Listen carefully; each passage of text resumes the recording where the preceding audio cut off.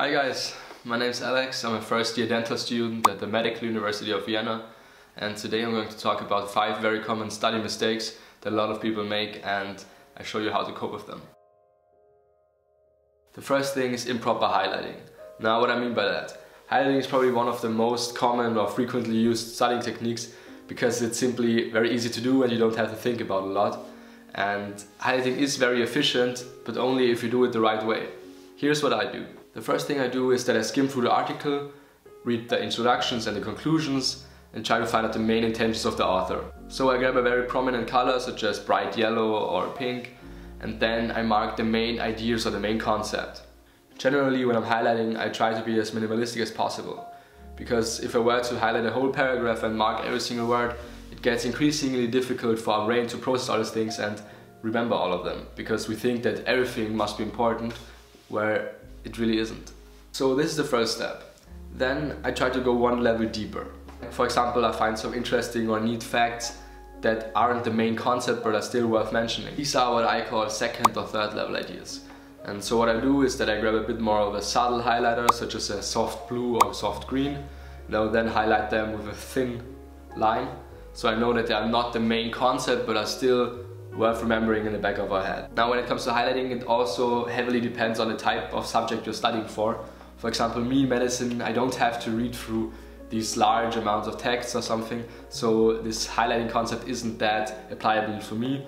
However, I believe that in other subjects, such as literature, history or something, it can be more easily applied. The next thing that sort of goes hand in hand with the whole highlighting stuff is making notes. Generally, making notes is not a bad thing.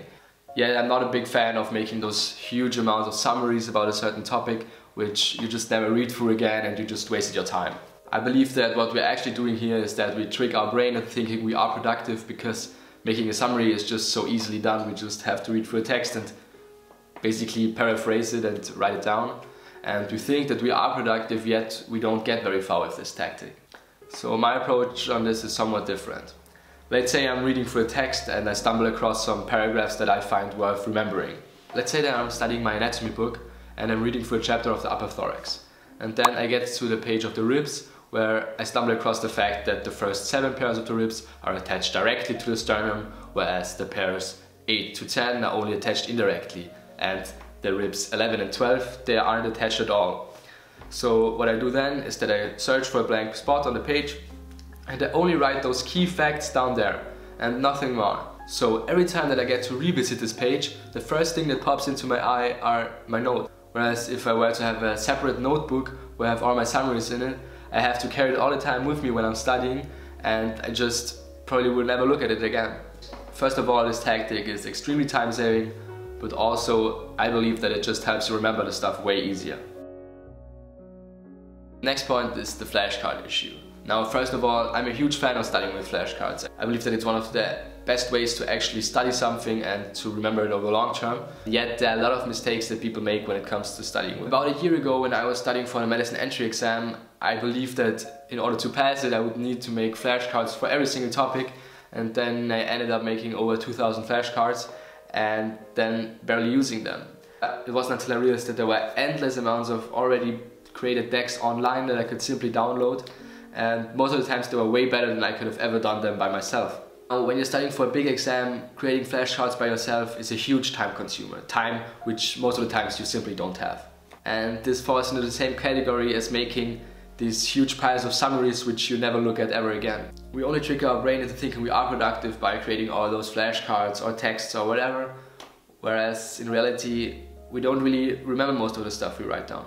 They are basically flashcards or Ankis or Quizlet, whatever app you use, already out there to every single topic you could ever imagine. So please don't waste your time in creating them by yourself. I also know some people out there that still do them manually, so you create your flashcards on a piece of paper, which I believe has only downsides compared to the digital version. First of all, if you actually want to make flashcards by yourself, and you write them all with your hand, this is just way more exhausting and also time consuming than doing it digital. Furthermore, you don't get to enjoy all the advantages of the Anki algorithm, for example, that provides you with the best flashcards at the best time, so you can't really do with making manual flashcards. And you don't have a system when you get which card. This is just really inconvenient. not to offend anyone that does their flashcards manually, I just believe that it's not really efficient. Just find it out for yourself. Look at whatever topic you might want to check out, if it's on Anki, Quizlet or whatever, and then download a deck and try it out. But don't make this whole deck by yourself. This is just too time consuming and you could use this time in order to study properly. I believe we all encounter this problem every time it comes in this phase before the exam. We talk with our colleagues and friends about the topics and then they lead us to believe that we are just way less prepared than they are and that we put this mental load of stress on us that we're just not really prepared for an exam yet. And truthfully, this just doesn't help anyone. This is an issue I still have sometimes, but then I simply remember that everyone has a different study technique, has a different pace. Maybe I started at a different chapter than someone else, and there are just many variables that you don't really know of yet, and that's why you should compare yourself to others because you don't know what's going on in the background very often that then after an exam actually took place and we get the results back that I scored better than the friends that initially gave me this bad feeling of unpreparedness and now I score better than them so just relax and do your own thing.